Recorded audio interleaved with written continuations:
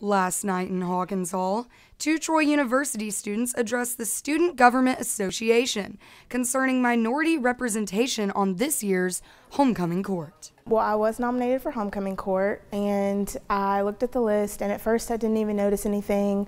Um, I wasn't too worried about it, and then I went back to the list, and I noticed that everybody on the court, or 15, 14 out of 15 of the girls, were in Panhellenic sororities, and then another 14 out of the 15 girls were white women. And um, not to discredit any of those women at all, I think they all deserve it.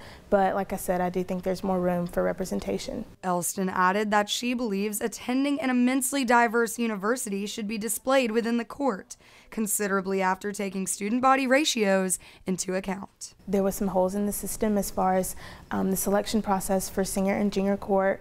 Um, I believe that at a 70% independent university that prides itself on being diverse, there's definitely more room for representation um, within the court. With homecoming week starting this weekend, change is unattainable this year, but there is further conversation about future changes to the court selection process. I think that there will be improvements made to this so that it can be a more fair and just and equal um, system in the best way. Uh, we really just want it to be something that's not too stressful on the girls that are running for it. Um, it's simple, but it's also efficient and equal. J. John added that the amendment under the homecoming section's code of laws were not completely followed, and the committee would meet subsequent to the SGA meeting to discuss possible changes to the election process.